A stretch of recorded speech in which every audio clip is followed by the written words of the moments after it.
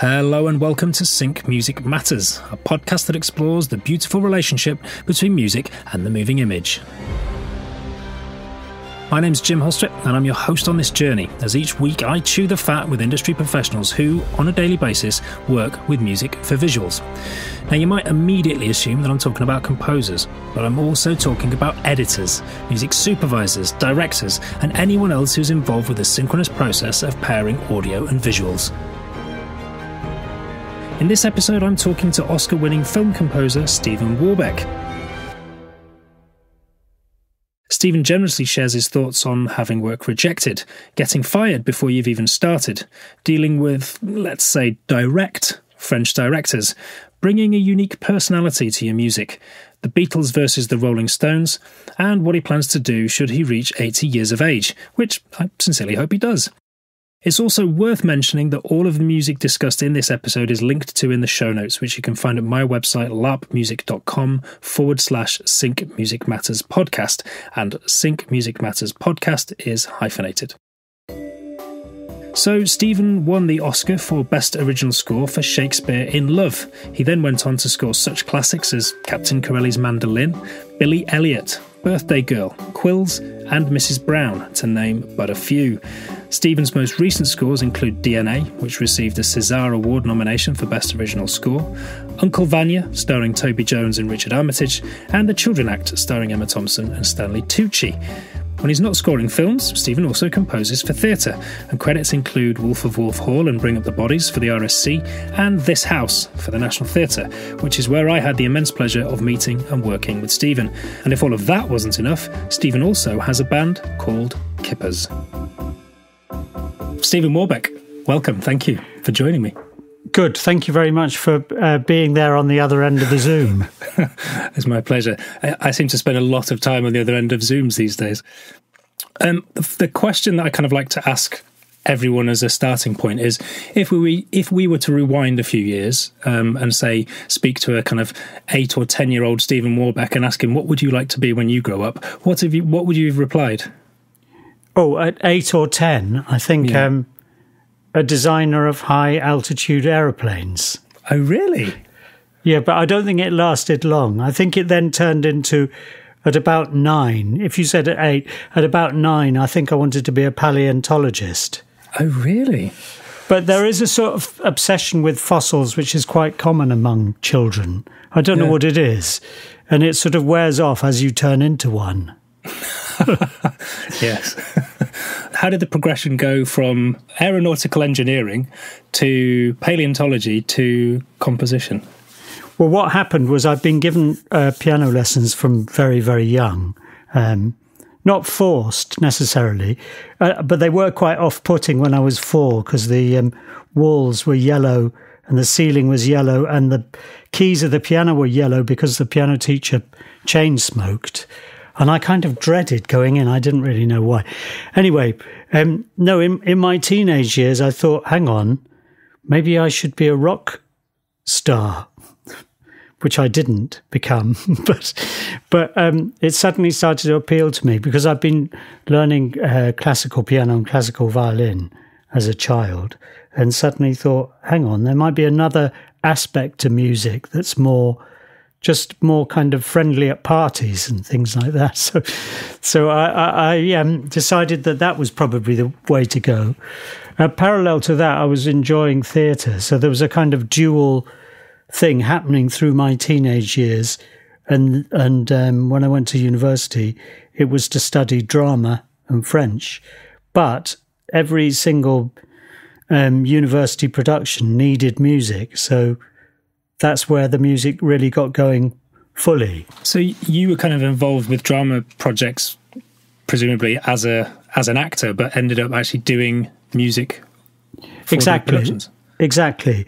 And and my first job out of university was um, well, I was an actor and musical director for a small tour from Theatre Royal Stratford East, which was very entertaining. But um, yeah, so the the first few years up to 1985, I was doing both. I was acting and um, composing and directing music. Oh, fascinating! But you the love love lay lay with um, composing rather than acting? Well, I don't. I'm, I wonder if I ever make any decisions myself because it, what actually happened in 1985 is my then agent had a bit of a strop, and he said, "I just don't know what to do with you. I don't know how to sell you. I mean, what are you? Are you a musician? Are you a composer? Or are you an actor?" And I said, "Oh, uh, well, I'm a composer," and sort of slightly randomly chose that path.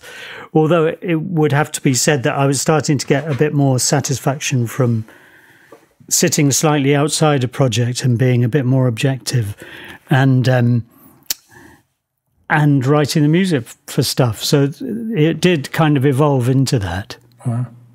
That's fascinating. And am I right in thinking that you've recently co-directed a film? Yeah, now what happened there was for about five or six years, I was writing little scenes in a book. Um, the book's over there. I won't get it though. Um, and um, then I was working with uh, Dominic Dromgoole. I worked with him as a theatre director a lot.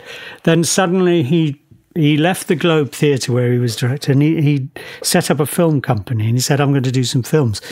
And I was in the bar after a play or something and said to him, well, I've got something you should read. You know, the way you're supposed to suggest projects. And I suggested it. And about six months later, he said, I'd really like to do this. Um, so I then decided that I needed to work with somebody who's more experienced in handling the technical side of filmmaking. Because obviously, I've been exposed to films for, for years because I've scored loads of them.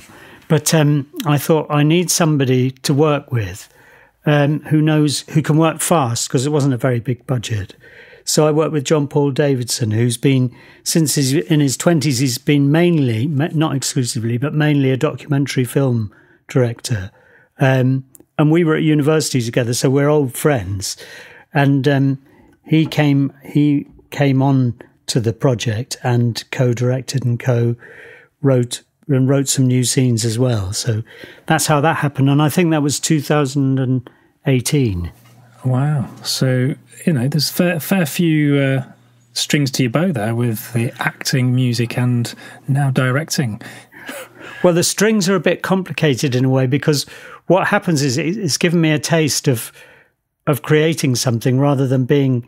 I mean, you are creating stuff when you're writing music, but but being slightly in the service of somebody else's dream, which is what um, scoring films and and probably theatre is like, um, and to to be in charge of your own dream, as it were, was I really loved it, and um, I, am writing scripts and don't, don't know what to do with them, and um, the likelihood of doing another film, I don't know how great it is. I've just I'm just in the middle of doing a short film. Um, but I, you know, it's hard to get a film done, and but I, I'm I really am very very drawn to doing more. Yeah, well, it's kind of it makes you the perfect guest for this podcast because the idea with because it's the podcast about music music and the moving image and generally people immediately will think of composers but obviously there's a whole gamut of people involved in in the the world of putting music to picture from composers to editors play a large role in that uh, directors. Um, so having you as sort of like with your director hat on and your composer hat on makes you um, i suppose a, a, a font of, uh, of of information. Or misinformation yeah uh, misinformation. I think any information is good information, isn't it? There's a whole. If anybody wants some misinformation, there's there's a lot of that on YouTube. Oh, there's plenty of misinformation. It's, we seem to specialise in it now, don't we? yes, absolutely. There is no actual truth anymore, is it? It's all misinformation. Yeah, it's all. Yeah. Under the skin. I'd like to go under the skin with Stephen Warbeck, if you will, sort of talk about a kind of um, a recent project um, that you've worked on, because kind of what I'm interested with this podcast is sort of exploring um, people's processes um, and understanding, you know, how they go about it and understanding your relationship with with what you do. Um, so, is there a specific um, sort of musical project that you uh, that you would that we can go under the skin with? Well, we we could we could talk about um, DNA or ADN, ADN, yes. or we could talk about the film I directed, which I also scored. Um, we could talk about the Children Act, although that's probably four or five years ago, and I might not remember it quite so well. Um, okay. and then we could talk about um, Save the Cinema, which was made earlier this year and isn't out yet. Okay.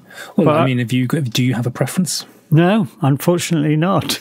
okay. Well, let's. I'm quite interested in in ADN, or which is the French for DNA. yeah. I'm right. Which was you directed are. by Maïwenn. Maïwenn. Yeah. Maïwenn. Maïwenn. Sorry, Maïwenn. Yeah. Um, in terms of the process, so and I want to come back to this as well because obviously there's a there's a French connection. You mentioned before that you studied drama and French at university, and it seems like you're working with quite a lot of French directors. But so, Maïwenn comes to you with a film. Um, talk us through the process step by step of of the exchanges between you uh, and and your process and how you approach sort of um, the sort of first iterations of music that you make. Well, this film was um, was the third film I've made with her. So I made a film called Police, which is like police but with two S's instead of a C, um, which was about child protection unit in um, in the French police, and she sort of. I can't remember what the word. I suppose embedded. She was in with them, embedded in their day to day activities for about three months, um, and then it's, it's actors. It's a fiction, but it's based very strongly on on on real stuff. Um, and then there was a film called Mon Roi, My King, and then there was ADN. Now ADN, or let's call it DNA for now, um, is um, is quite autobiographical. Uh, both of the other films really, really meant a lot to her, and I, I know that most films mean a lot to to the director. and the creator. But I think in the case of Maïwenn, it's even stronger because there's such a big autobiographical element in it. Now, that doesn't mean anything particularly, except that you can't, it's not like just another job. You're aware that you, a door's been opened into a very, very real, personal, imaginative, creative life and that you're being invited to be part of something that's going on for years and is taking up a lot of that person's energy.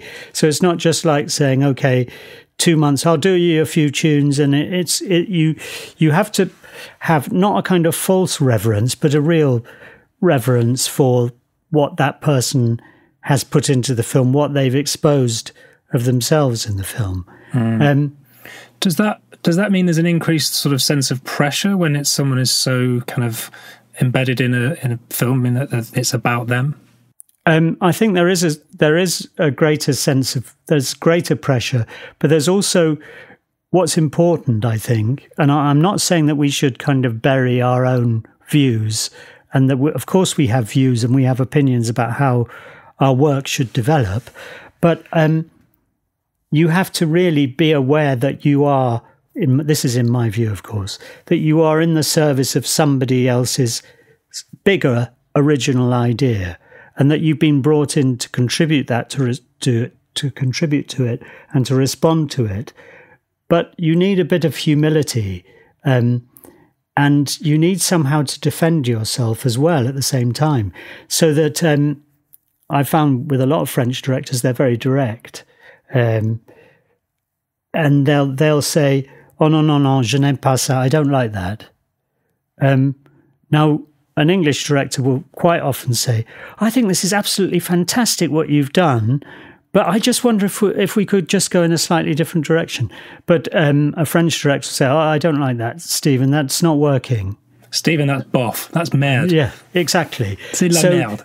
Exactly. So you have to say to yourself constantly, this is not a personal affront. It is simply because there is a big, big idea in this person's mind, and I'm not tuned into it yet.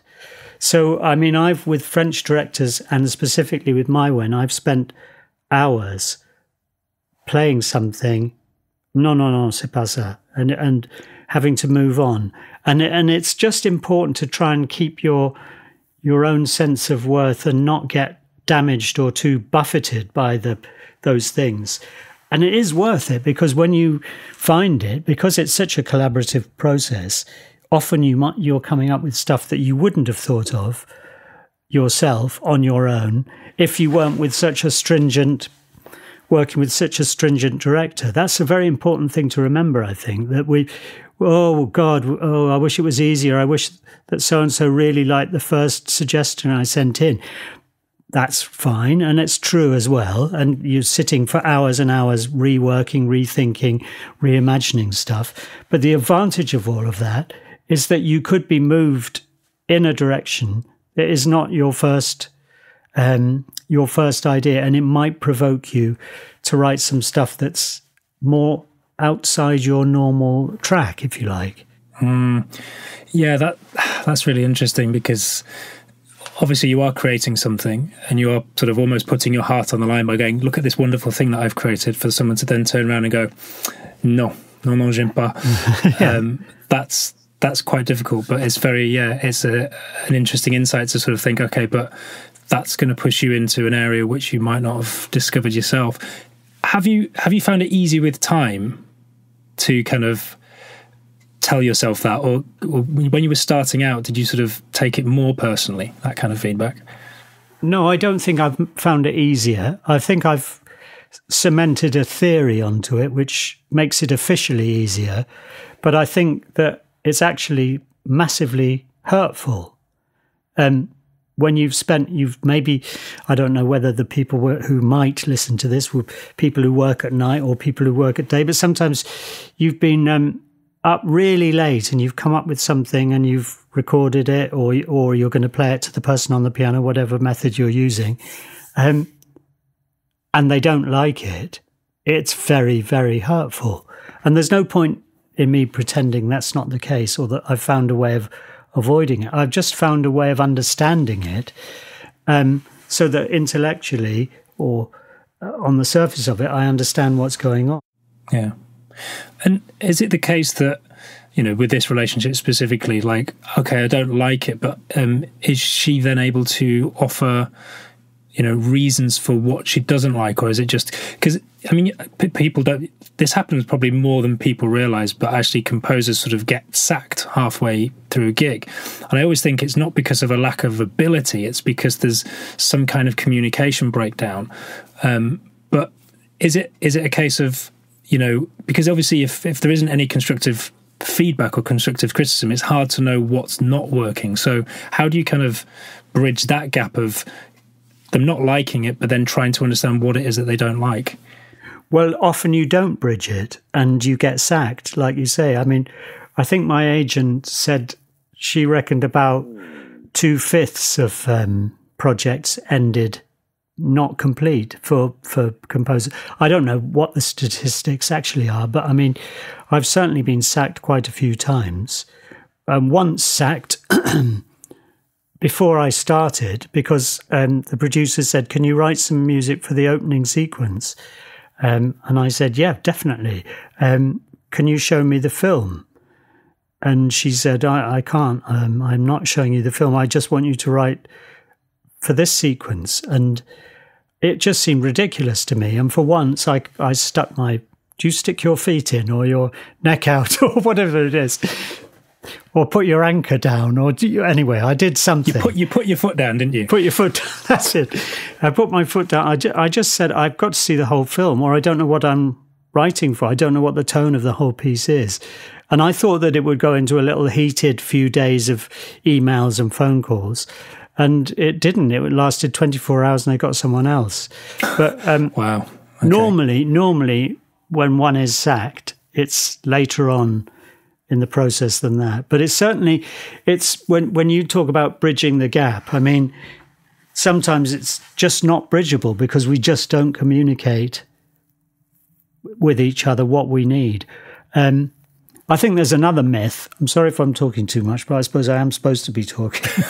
um, Please do. Another myth that that there's oh that's not quite right, but actually don't listen to that comment because the comment is inaccurate because there is no right music for a project. There's no right composer for it. If you and I were writing the music for the same film, we come up with different things. One wouldn't be right and one wrong. The director might like one better than the other, but so you have to also remind yourself that Maïwenn does not like this piece of music. That doesn't mean it's a bad piece of music. It just means that she doesn't want that piece of music on her film. Yeah. But presumably, obviously, you've completed Maïwenn, so you where she wasn't liking specific cues, you were able to go away and, and come up with. You were able to bridge that gap. You were able to come away with Yeah. something that you you both liked. And sometimes it was very, I mean, she works in a very sort of ha- hands on way. So sometimes it would involve, um, imagine you're playing a, the tune or the theme on the piano because um, a lot of it's done with MIDI mock ups and stuff. But sometimes if she visited me, I'd play the thing on the piano and she said, no, no, no, arrête. Just stop there, stop there. Play that bit again. No, more slowly. Now stop. Now play the next phrase. And the first time that happened on Police, I thought this is barmy. I really, I just, I can't be micromanaged. But actually, what she did was she pulled apart a tune and made it rather than certain and finite, she made it very provisional and tentative, and that really suited the the um, the feeling of the of, of what was needed. It reminds me a bit of um, La Vita è Bella, which is uh, Benigni and um, I can't remember the composer's name temporarily. Uh, Italian composers, fantastic. Um, there's a the main theme of that almost seems to stop between phrases, and it's a heartbreaking film. And I feel that the heartbreak is even more because the tune somehow doesn't feel like it can carry on. Um, and sometimes you'd say that if you were watching a gig or something, you might say, This is imperfect, or the solo instrument slightly out of tune, or the piano is slightly out of tune, or it seems to be not the best piano. But in a film, well, maybe in music as well, but in a film, that music might be the very personality that's needed. That imperfection, that hesitancy, or whatever the idiosyncrasies are, might be the very thing that makes it take off or or fly. Yeah, absolutely. I always think that you know the imperfections in rhythm is what we call the groove. You know, it, it, it isn't exactly to to click, and the sort of imperfections. And funny that what you sounds like what you're talking about there, sitting it down at the piano with Maïwenn. Whereas before you might have recorded something to click or to a specific tempo, she was sort of saying, "No, perform it." Um, Yeah. and leave gaps and, and you don't have to sort of have a resolving cadence you can have it sort of and, and in doing so you kind of almost breathed a, a life into the same piece of music which the way it had been initially composed wasn't quite right but by actually just performing it and feeling it to her that Yeah. then worked Yeah. That that is I mean that's very accurate what you say about breathing breathing life into something. Um, and we can, especially because of MIDI and computers and so on, we can operate in a very um, sterile, arid sort of uh, environment. And sometimes you just have to, well, I, I believe you do, and I know that some people would work more intellectually and less instinctively. I believe that I, when I work for it to be a successful piece of work, I need to put some feeling into it, and it needs to mean something to me. And when I write a piece of work that means nothing to me, um, I'm never going to be happy with it, you know. So somehow in that collaboration with the director, you're going to have to find something that pleases her or him, and it also has to please you. yeah have, have you ever been in a position where something hasn't pleased you but in order to sort of move on you've just sort of conceded or would you in that would you put your foot down again in that instance Um, I think I've probably conceded quite often. I mean, I can remember a particular example of a very, very sympathetic character who was supposed to be vile. Um, and the director was saying, You've got to make him more threatening. You've got to make him more threatening. He wasn't remotely threatening. Um, so I was adding sort of semiquavers on a bass clarinet and all sorts of kind of tricks to try and make this bloke threatening. And in my view, it was making it ridiculous. He didn't look any more threatening. He'd have been more threatening if you'd played a, you know, bit of a cliche, a little children's um, nursery rhyme on a toy piano would have been more threatening. But I mean, um, he wanted all this sort of terror to happen, and um, it was counterproductive. But it was such he he felt so strongly about it, and we were kind of in agreement for most of the score. But for those bits, I, I conceded, and um, don't think they don't think they ever really worked. Mm, interesting. Um, and just going going back to something you said before about the instance where you put your foot down and you weren't prepared to compose until you sort of the, the, title sequence until you'd sort of seen the film. So, do you never you would never get a script and sort of go through it and then sort of start coming up with ideas? You'd always want to sort of see the oh, visuals oh, no, before you start coming up with any sort of ideas for it. No, no, hundred percent. I would do that. What what happened in that instance is I felt I was being excluded from there. the film existed. It was a it was a first cut but it was done, you know, it was put together. Um, if I'm involved from script stage, that's the stage everyone's at. I just don't like the idea of um, a kind of selection. I, I feel like it's probable, uh, which I didn't realize at the time, that she was already thinking, I'll get a couple of composers to write the music for the beginning of this film and see which we like best. Now, even if grudgingly I accept that to be true, I still don't think you can really write the music of a picture without seeing the whole thing. But I have often started with um, from the script. You know, when you're engaged in something right from early on, I have done that. Um, but although I would say that I probably generally find that you change direction a bit once you've seen the image. Mm. Yeah, yeah. I mean, it seems ludicrous that if the film exists, that to not to show the composer because that's only going to help inform you. Yeah. Um, along those lines. But then it was interesting listening to an interview with um, Hans Zimmer, and that actually Christopher Nolan had him compose a load of cues without showing him um, the visuals. I think it was on Interstellar. Um, and weirdly Hans Zimmer was sort of doing things with certain scenes in mind because I don't think he was even saying this is for a specific scene. Um, and then a few weeks later, he'd get a cut of the film, and that cue was in exactly the same position where he sort of he'd sort of imagined it having having read the script. But yeah, I, it's one of those conversations, isn't it? I always think if you can involve the composer from the beginning, so that they a they feel part of the process, but also kind of you know, I suppose more invested in it, but also, you know, as the project develops, that they sort of they grow with it, and it seems to me that that could only result in ultimately a better, better final product. Yeah, I think that's right, and I think that um, with about two thirds of the French things I've done, they haven't they haven't used temp music.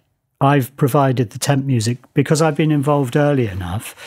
I've been composing and making mock-ups, uh, maybe using some real instruments, using some samples and so on, like everyone does. Um, so the music's evolving during the edit, edit, and you're finding, oh, that theme works well there, maybe try it somewhere else. I love that, and we, we in fact we did the same on a, um, a Welsh film called Save the Cinema, which I did with Sara Sugarman earlier this year. Um, same thing. They didn't have temp music on. I was feeding this. They did have a little bit at the very beginning, but I was feeding stuff in right from early on. Mm. That's interesting. Yeah, because I've I'm just working on a short film at the moment where I said at the beginning I would like to avoid temp tracks if possible. Um, and for obvious, anyone who's listening who doesn't know what a temp track is, is basically when the editor puts in a temporary piece of music so that they can sort of edit and get the flow of it, um, which then gets taken out, and then the composer um, puts their their take on it. The problem with the temp track is that sometimes the people involved become so invested in the temp track that anything other than a copy of the temp track isn't acceptable. But then the, the flip side of what you're talking about is that if the film's not picture locked, every time there's an edit of the film, you then have to go back and and edit the cues. So you end up sort of having the same cue edited.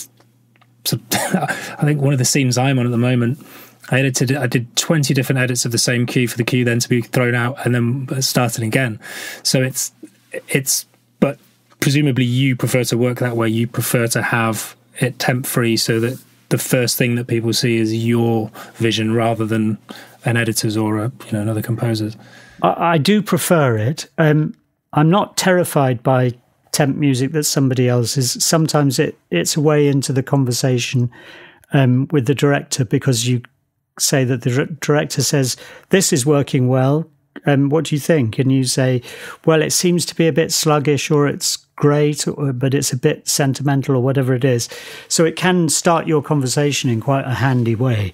Um, but but no, I mean, I would prefer I'd prefer the um, the, the providing the music right the way through, and and with regard to editing it, and what I'd often let them do is chop it, let the editor chop the music horribly, and then leave it for a few versions and say, okay, do you think we're nearly there? Because I'm I'll now do a version. I'll speed it up by two BPM, and I'll cut that phrase out. And and it's true that's a bit of a palaver because also it doesn't always fit. However you edit it, it you can sort of feel the bits that aren't there or or have been extended too long. Or the other thing, just briefly on on the temporary music or temp music thing, which is a pick gets us in a pickle is when, say, you're doing a short film like you said you are now, um, and they put an orchestral piece on, and you say, "Hang on, we are supposed to be doing this for eight hundred quid. Um, how do you expect me to do that?" Yeah. Um, and they've put a bit of Hans Zimmer on from Interstellar or whatever it is, and yeah. you've had it. Yeah, I mean that's that's the classic, isn't it? Um, but I think you know, luckily from my point of view, um, some of the the v, the VSTs, the kind of virtual instruments that you can buy now, you know, that Spitfire and people like that make, it's never going to be as good as as a real orchestra, but it can go some way to, um, to, to bridging that gap because we're the best one yeah. in the world. Getting an orchestra to record one cue for eight hundred pounds is going to be uh, it's going to be pretty difficult. Yeah, that's true. Yeah. Um, so something something that I kind of is always I try to have at the back of my mind is this idea of kind of irreverence or you know trying to do something a little bit different because I think creatively that's where the greatest reward comes but also you know for someone who's asking you to sort of add your magic to their vision um, doing something different and being a, a bit irreverent um, adds something to it in, in whatever way, shape, or form that it that comes. Um, I seem to remember from a conversation we had years ago. You're kind of always looking for kind of like a slightly unique texture or unique something. How do you? Because at the same time, you don't want to just be irreverent for the sake of being irreverent. If somebody wants something slightly more classical, then then that's fine. But how do you go about uh, bringing in a, an element, element or, or irreverence, or or you know making it sound typically Stephen Warbeck? Um, there, well, there was a bloke. I might have told you this years ago as well. There's a man called Philip Kaufman um, who directed Quills, which you mentioned earlier, um, and it was probably it wasn't quite, but it was sort of one of the first inverted commas big films um, where I didn't previously have any I hadn't worked with him in television. I hadn't done anything with him. It was a new, it was out of the blue. He asked for me to write the score for Quills. And it was probably about 1999, 2000, somewhere around then. I'm not sure exactly. Um, and I was having terrible trouble because I sort of knew it was a big film. And I was trying to write big tunes that sort of like films had. And I was uh, probably a little bit frightened of it. Um, big epic moments. And he said, to me after a few weeks. He said, The reason I gave you the job is because I want something as mad as you are. Um, now, I don't know if I'm mad. I think we're all mad. So, but basically, you can interpret that as saying, um, your idiosyncrasies and your oddness is you. Mm. We need you to write the music of this. We don't want you to imitate somebody else, Stanley Myers, Hans Zimmer, who, who, you know, Rachel Portman, whoever it happens to be. We want you to write the music out of your oddness. So I think trusting that's the first step is to say, this is my voice, and to say, you know, um, the Kippers, who you mentioned earlier, which is my band, is a nutty little band. Um, and I sometimes think, oh, that's just that. That's just to one side. That's just silly. But in actual fact, that might be more authentically what I sound like than a lot of other things. And I think you need to lean into what you feel you authentically sound like. So that if you want to double, I've been using a lot in recent, um, not in Maïwenn's films, by the way, in order not to um, confuse anybody, um, but I've been using tenor banjo a lot. Um, and I just love that uh, orchestra with a, a little tenor banjo thing in. That's the sort of thing I like to do. So to take something that's very irreverent and not very orchestral and mix it in with some very serious, inverted commas again, strings or um, or whatever it happens, and you've got a little motor of an arpeggiated um, tenor banjo, for example, and sometimes the strings rather damped. Dunk, dunk, dunk, dunk. Um, that was slightly inspired also by um, a Dutch um, filmmaker. What's his, his things? Oh, Alex van Warmerdam. Anyway, if if anyone gets a, a chance, I think it's his brother that does his music for his films. They're strange films, but what's great about them is the music really goes out on a limb. It doesn't doesn't say oh, I'm going to play it safe. I'll just be strings and a single line piano tune, which yeah. of course I also do. You know. Yeah. Yeah, it's. Uh, have you? There's um. Have you, well, so on the subject of Dutch, there's a Dutch composer. Uh, I always get his name wrong.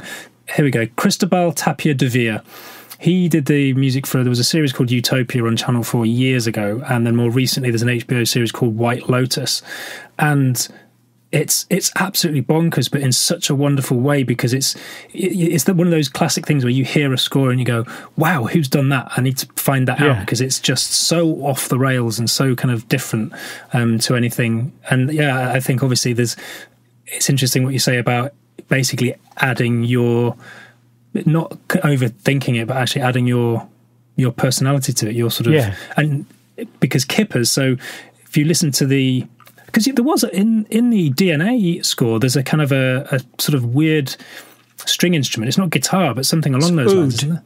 There's an oud. Oud. Okay, yeah. So that was a kind of like a unique yeah. texture. Yeah. Um, within that, and then when you uh, the man is it the man with the hat? Yeah. Um, the score for that, you can definitely. I mean, if anybody wants to check it out on Spotify, is he on Spotify? Kippers? Yeah, I think so. Yeah, um, but I can definitely hear in the score with the man with the hat. I can definitely hear the sort of like the, the classic Stephen Warbeck influence of from Kippers because obviously it's accordion and you play the accordion in the well, you play loads yeah. of instruments in the in the Kippers, but um, but it, no, you're right. There's accordion, accordion, mandolin, clarinet. Um, that's the sort of range of stuff. And also working with a group of musicians who I've worked with a lot over the years, which is another thing which we haven't touched on, which is um, if you want your individual, well, it's not yours, but an individual voice or individual sound, choose who you're going to have playing it very carefully. So you know that somebody plays the cello in a certain way, or um, you know that Dario, um, who plays on DNA and the man. It's the man. In, oh, now you've confused me. The man in the hat. The, the man, man, in the hat. yes. Yeah. Um, he plays on both of them, and I kind of know. I don't obviously know exactly what he's going to do, but I can when I'm writing it, I'm thinking of how it's going to be, partly because of the the nature and sensitivity and approach of the musician. So I think that's a very important thing when you're finding the particular voice for a for a film to take into account who's going to be playing it. It mm. sounds obvious, but I think it's you know, and if you think of something like Paris, Texas, or Life is Beautiful, which is, by the way, composed by Nicola Piovani, I remembered it now. Um, those you'd say definitely, if they haven't played the instrument themselves, those are very, very carefully chosen musicians. They're not just going, you know, to a fixer and saying, get me 20 banjo players and a accordion. You need to know what, what their approach is and what their voice is like. And, and again, that probably feeds back into what you were saying about, and it's not like you so you you pick your one banjo player. It's not like the other banjo players aren't great at what they do. It's just no. that this particular one does it in a particular way which really resonates with you. Therefore, yeah. you tend to go back to them because you know that they're going to deliver a little piece of themselves with their performance. Exactly. Yes. Yeah. yeah. Fascinating. So don't overthink irreverence. No. I think I heard a thing with Christian Henson where he talked about this is about drawing on drawing on your influences and because I know you sort of you mentioned you mentioned rock and roll earlier and whilst Kippers sort of genre wise wouldn't probably be rock and roll I think there's a, a definite rock and roll uh, element to them well we uh, at school we, we I was I formed a band with my friend Andrew Ranken who then became the Pogues drummer so uh-huh. he he sort of did it for real and I did it pre- for pretend um, yeah. but I loved rock and roll as a teenager, and you know, I, also Bob Dylan would be a huge influence, and those influences enrich you, like you, you know, like you're saying, really, that they, they, and you don't need to shy away from them. And klezmer music has influenced me, and um, Greek music I love, and sometimes the harmony of popular songs. Don't be embarrassed by the harmony of popular of popular folk music or whatever it happens to be. It's it's all our music. We don't have to pretend to be over sophisticated. Sometimes the simple solutions are going to be the best. Getting a taste.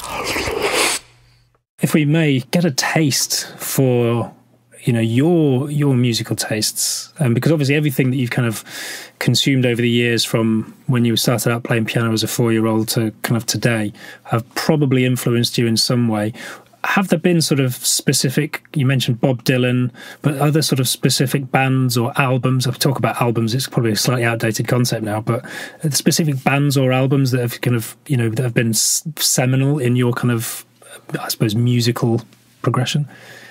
I suppose i'd have to say that bob dylan is probably the largest but i don't know if he's if he's really influenced the nature of the composition. He's just the biggest figure in my um, musical hinterland, I suppose. What, what was it about Bob Dylan that you found so inspiring then?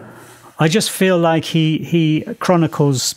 Obviously, he didn't think he was doing this, but he chronicles my life. It feels like anything in, that happens in my life has been told by Bob Dylan. And if I wanted to have somebody telling the story, um, there'd be a song, there'd be a, a phrase, a line, um, somewhere in Bob Dylan which would do it, you know. And the, um, that they're also. I mean, I knew the Beatles backwards, but at school it was very uncool to like the Beatles, so you had to pretend to like the Rolling Stones. Well, in my group, and Jimi Hendrix, who I really did did both like both those things, or or John Mayall's Blues Breakers, or whoever it happened to be.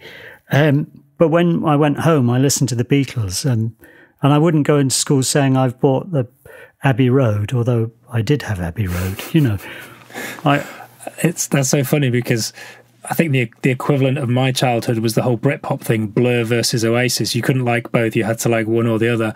Um, I actually went completely out on a limb and, and didn't like either of them. I, I, liked Rage Against the Machine and Metallica at the time. So, um, but it's it's funny how this sort of the kind of war of the bands, sort of from generation to generation, continues but maybe you can now look back and say, "Don't look back in anger" is a good song. Absolutely, I you know I think even if at the time you weren't supposed to like that song. No, I I did like. Um, um, what's the story morning glory so their second album really resonated with me um, because of the acoustic nature of the guitars and and there was a lot of kind of rods been played on the drums and the sort of soft drum sound. I really, really liked that.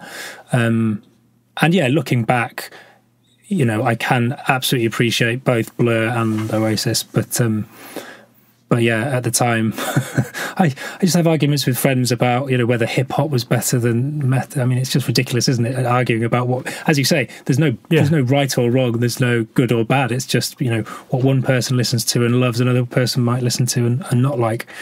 Um, is there anything that you would never listen to? Um, I don't think there is. I mean, I I sometimes my children who are not really children now, um, would listen to stuff and I wouldn't like it. But I, would try and listen to it and try and be open to it, but not always succeed.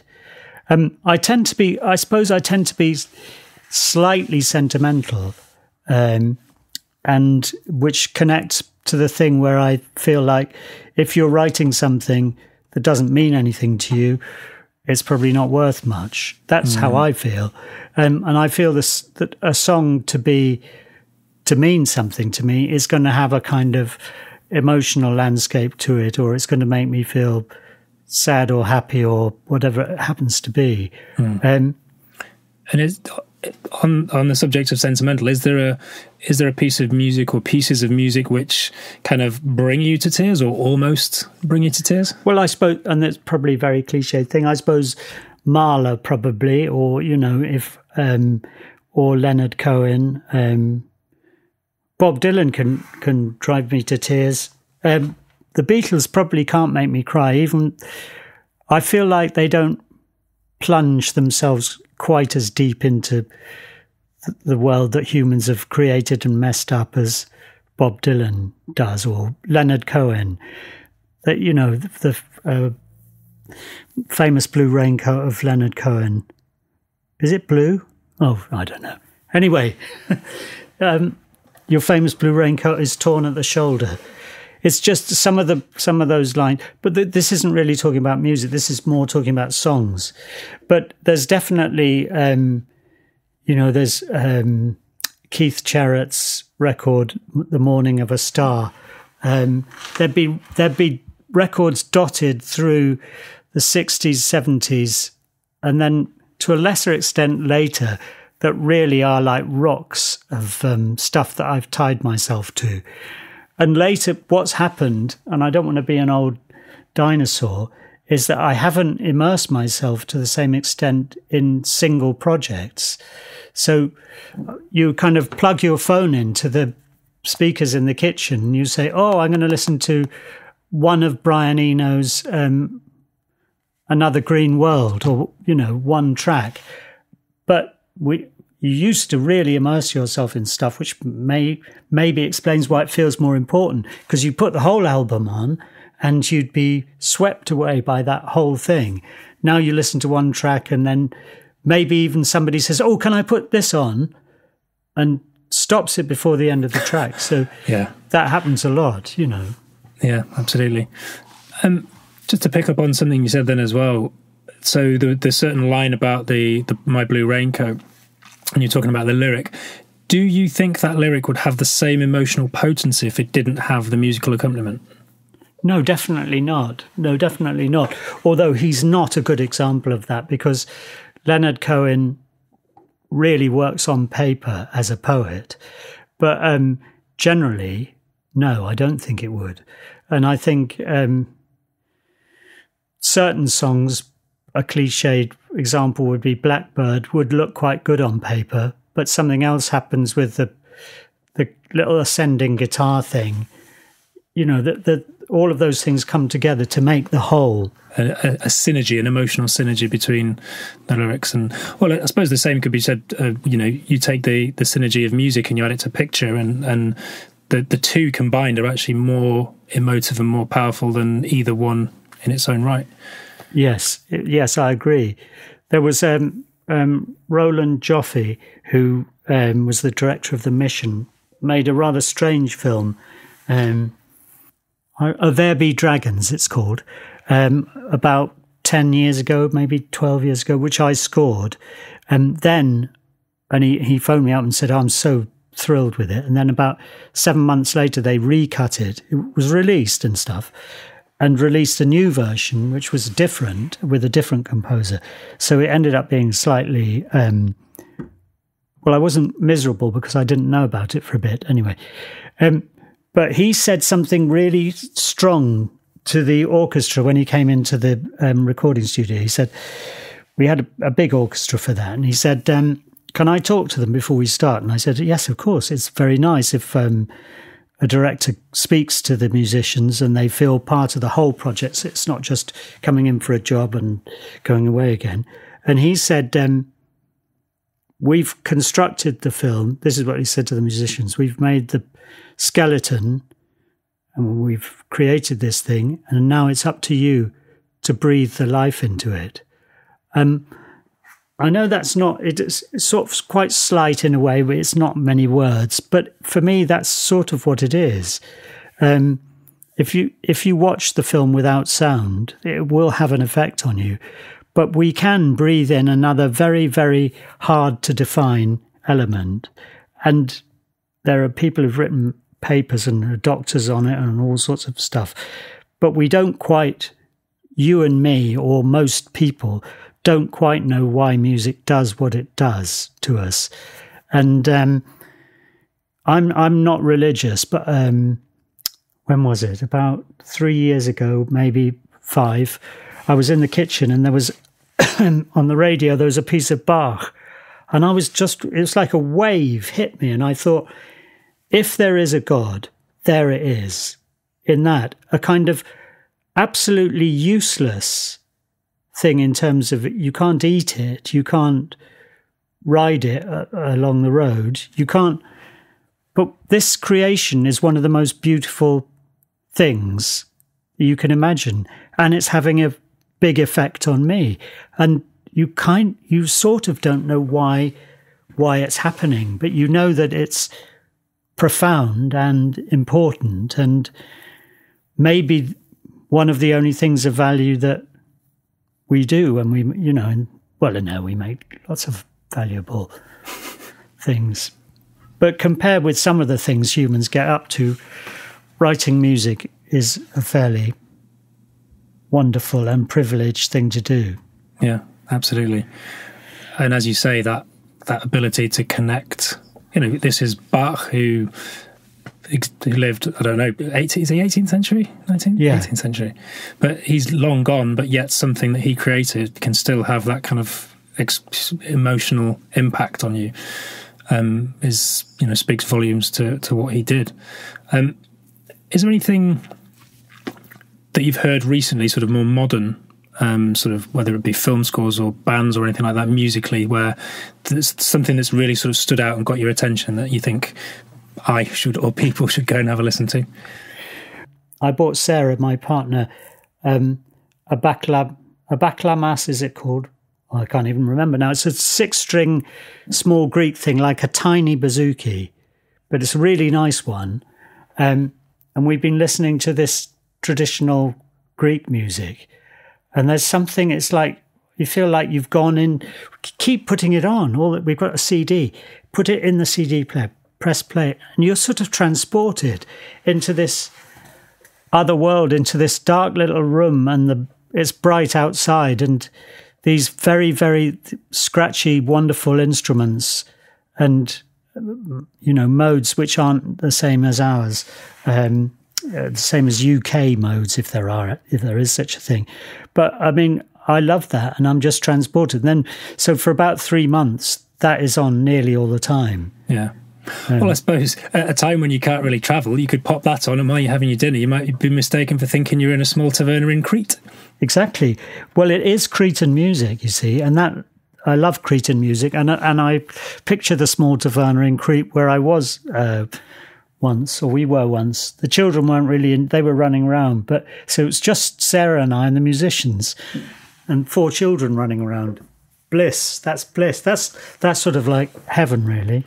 Okay, so Cretan, Cretan, Cretan bouzouki Cretan. music. There you go. What yeah, can well, you was it? Can you remember the name of the? art? Was it a, a, sort of a selection of different artists, or was it a specific artist? Well, there was one. I'm not sure if he's on the Yanis Xylouris and Nikos Xylouris, Um, and the one of the big um, Cretan instruments is the lyra, which is like a violin played like that. But um, I vaguely think of getting one, but I know it'd be a waste of time because you stop the string by pushing your nail against it.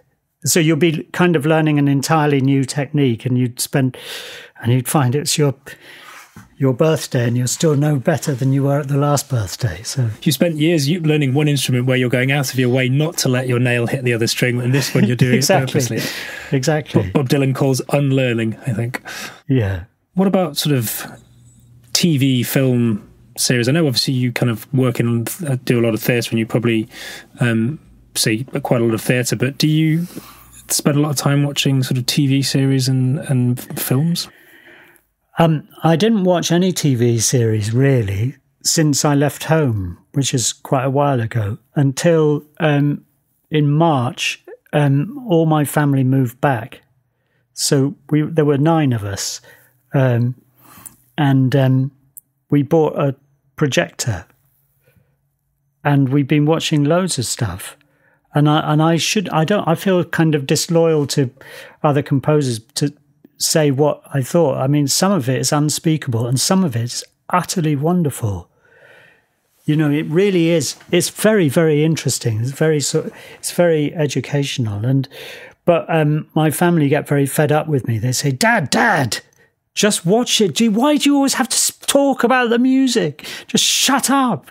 So you, it is kind of. Um, I don't know if I'm watching it right. I think I'm probably not watching it right. I'm not watching it like you would normally watch it objectively. I'm being very sort of seeing what's happening where and why they're doing that and yeah I, I've, I've got a friend like that you go, go you watch a film with him and you go he'll go Lydian oh yeah Mixolydian oh do you hear Mixolydian there and he'll sort of yeah. talk you through the modes of every single cue um, which is is great. But he'll also try and do that during a gig as well. You go to see a sort of an orchestra and he'd be like, Lydian. It's like, yeah, okay, it's okay. I'm just going to let the music wash over me. Um, yeah. But can you can you you can't remember any of the names of those series that you've watched and loved? I'm not. I'm not saying no. I can I, I mean, no, I can't remember. I mean, I can remember, but I, I, there was one of Killing Eve was quite intriguing. Um, oh yeah, and The Vigil, and oh yes, we've watched a few, um, quite a few, and then and then sometimes. I actually like that thing about Catherine. I thought some of that music was really bold. Mm. Catherine, was it called The Good? It was called, I think. Very, very, that's really irreverent because it's like the whole thing is irreverent. It's like telling history and saying, I'm going to tell history in a different way. I thought that was a nice, bold bit of television. Yeah, great. I kind of like to finish off the podcast uh, with the uh, with what I'm calling the trivia section. Okay. Um, do you have any sort of random music related or sort of visual related trivia um, that you think the world should know? Oh, I see. Oh God, that's a bit of a responsibility. Put you on the spot. If, yeah. if you don't, then I have some questions that I could ask you. Why don't you ask some questions? I think everyone should cycle a lot more. Yes. well, that's just that's just a fact. That's not trivia, is it? Yeah. We all need to do more exercise. Yeah. Do you know what the biggest selling movie soundtracks of all time were? There's two, kind of like almost in joint top position. This is going to be a surprise, isn't it? I was surprised. Um, um, but think it's it's at a time when movie soundtracks were more consistently done by bands or artists. So, what what do you call it? The thingy jig. I know. Um, what do you the uh, the Russian thing, um, which Granada then remade? Um, Doctor Zhivago. Nope. No. And um, two thousand and one. Nope. No. I'll give you give a clue for the first one. Um, I, I, I, should have thought of a clue beforehand, shouldn't I? Um, Gibb. That's not helping me. Is it not? Okay, well, it was pretty pretty out there. Oh well, I'll, I'll put you out of your misery. It was the the first one is um, Saturday Night Fever. Bloody hell! Yeah, one of the top selling movie soundtracks. It was obviously it wasn't entirely the Bee Gees, but you know very heavily the Bee Gees. And the other one was The Bodyguard with Whitney Houston. Well, that is a surprise. Yeah, um, They're big surprises. again, it was this is a sort of an era when it, it, it, well certainly felt like you know in in the sort of 80s and well I suppose one of those is the 70s but certainly up until the 90s you know the the soundtrack to a film was kind of quite often there was a specific artist who would sort of do a lot of that music um, whereas I, I, might be wrong but it feels like now albums are kind of made up more much more of lots of different artists to sort of have mass appeal to lots of people but so there you go very um, interesting yeah well um albums also were an actual physical thing. Yes. But obviously, I think cashing in on, well, cashing in being the opposite word, because obviously this was back at a time when, you know, selling physical, you know, physical entities of albums was as a huge, um, huge part of the music industry, whereas now, um, much less so. You know, the, the golden era of being able to print CDs in their millions and flog them for a tenner each is, uh, is long gone. And now, yeah. with each stream, the artist gets 0.0047 pence per, per stream. Yeah, and I thought it was bad when I was getting 19 cents per CD of Shakespearean Shakespeare in Love. But actually, that seems a lot better than the streaming um, yeah, yeah, it is. At least you're getting an actual full pence or full cent, yeah. 19 yeah. of them. Yeah, it is. But also, apparently, the stuff that's the most um, money making streams are not uh, are things like waves on a beach and sleep sounds and all of that stuff is making more, more money than the music because it's just hours and hours of um, of stream stuff. There's been a huge piano yeah. uh, renaissance as well in sort of well renaissance, but in sort of um, instrumental piano music again because you can have entire playlists of instrumental piano music, which is just sort of great background music for studying or for you know relaxing to, and and again you, that can sort of rack up the streams. So it's interesting how the revenue stream starts to somehow dictate um, how much things um, get get played, but. My my son Herbie said when he goes on holiday, he keeps thinking he should put one of my things on repeat. Would that work? it would, but it'd probably only be about 50p if you went for two weeks. So right, so it's not worth it. I think in the in the early days of streaming and Spotify, I think there were cases of people who were sort of doing that was like literally putting their albums on repeat and leaving it playing overnight. Um, but uh, yeah, I suppose it could still potentially work. Good quick fire trivia for you. Um, what scares you? Oh, what really? I suppose uh, death isn't particularly doesn't seem doesn't seem great, or death of somebody close to me. Um, okay. Those those are fairly frightening. Yeah. Um, um, little known fact about you. Um, I like cycling. and you think everybody should cycle more, apparently, as well. Yeah, I do.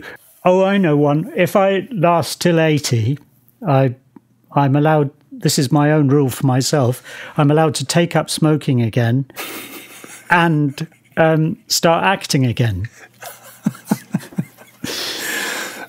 I, I, sincerely hope you live to 90 because I would love to have that 10 year period from 80 to 90 where the smoking Stephen Warbeck is just popping up in every film.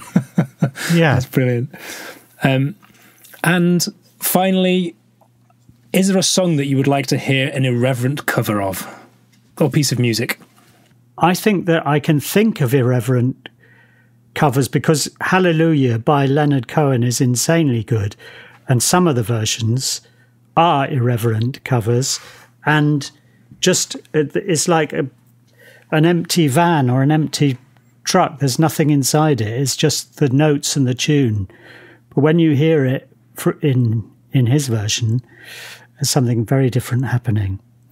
So I don't yeah. want to hear any more irreverent things. That was enough.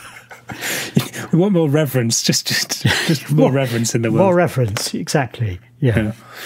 Um, fantastic. Well, Stephen, thank you so much for sort of taking the time to chat to me. It's been um, fascinating and, and entertaining as ever. Um, uh, with with this, it's always a question of if people want to find out uh, find out about Stephen Warbeck and what he's up to. Where where can they find you? Oh, I'm not sure. Um, probably online. Am I? I expect so. I don't know. Wikipedia. No, Spotify. Um, well, uh, Kippers, Kippers on Spotify. They can find out about Kippers, and all obviously all your soundtracks are on Spotify as well. And I think um, there's a oh god yes sorry there's a solo EP that I made during lockdown um, it was done here. It was produced by um, a friend called Isaac Waddington. So it's um, it's mainly me, but it's him as well with with backing vocals and stuff. It's um, it's funny but serious. It's a, it's quite a, um, it's sad things about um, people waiting at the harbour for boats to come in and uh, drinking halves of bitter in pubs in Finsbury Circus. It's I mean it's sort of serious, but it's a bit silly. Okay. But that's that exists. It's called uh, making the coffee. Making the coffee, and is that under your name or is that an yeah? It's name? under no, that's my name. Okay, yeah. fantastic. And I should point out as well, obviously, for people listening to this, is in the background behind you, you've got what looks to be an absolute veritable treasure chest of weird and wonderful musical instruments, from euphoniums to um, analog keyboards to everything. Yeah, that, yeah. There's a, there are a few things here. That's true. Yeah, Yeah, in your in your in your man cave.